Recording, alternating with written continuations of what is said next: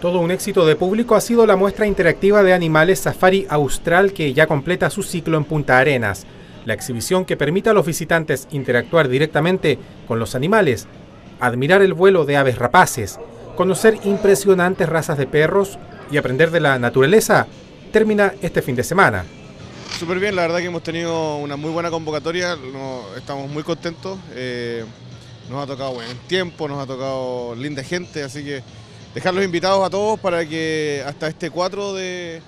noviembre vengan a vernos acá a Zona Franca, Espacio Austral. Vamos a estar con todos nuestros animalitos, ahora eh, implementando algunas otras cosas más interesantes, como por ejemplo el entrenador oficial de Safari Austral de los, de los guacamayos, de la berrabaza, así que eh, dejarlos a todos invitados para que puedan venir y disfrutar esta experiencia que es inolvidable, la verdad.